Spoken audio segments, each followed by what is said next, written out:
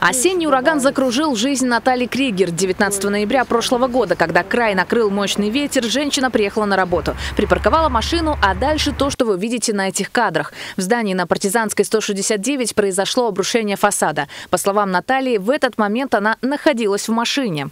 Я э, задержалась в автомобиле, как сказали потом сотрудники МЧС, что если бы вы вышли в этот момент, то ну, вас бы накрыло. Вот я задержалась, не вышла, и в этот э, момент произошло обрушение. Выскочили сотрудники э, из пекарни и завели меня к себе, оказали первую помощь. У меня вся голова была в стеклышках мелких, как у ежика, то есть э, брызги вот эти вот стекла и камни как-то оказались ну, уже за шиворот.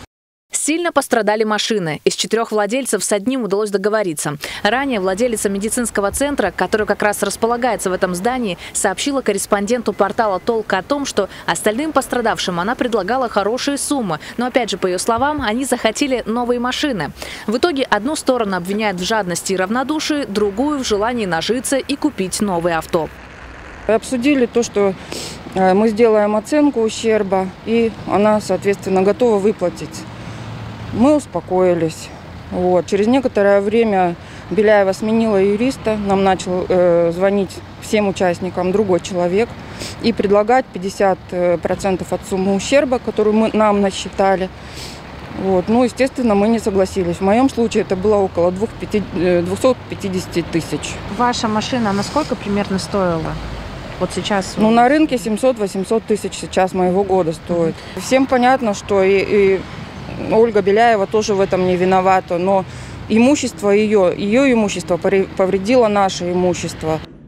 Есть вопросы и к третьей стороне, застройщику, ведь, по словам юристов, тот самый ураган нельзя назвать непреодолимой силой или стихийным бедствием, как цунами. Здесь, конечно, нужно выяснять вопрос, а почему здание-то было построено именно в нарушении ГОСТов, СНИПов, да, то есть это строительные нормы. А, здесь не ветер, как вот указывали о том, что да, сильный ветер, но извините, даже если это ветер такой, э, такого размера, ну, здания не должны рушиться. Собственники автомобиля, они если не получат денежную компенсацию, они останутся со своей бедой.